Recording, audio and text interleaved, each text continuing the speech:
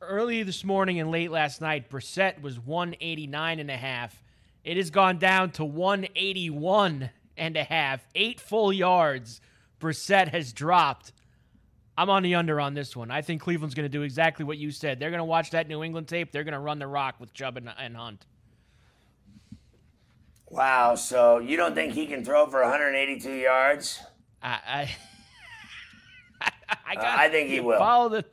Okay, over for you. I, I think Rushing. he will, and I, I, he will, and Mitch won't.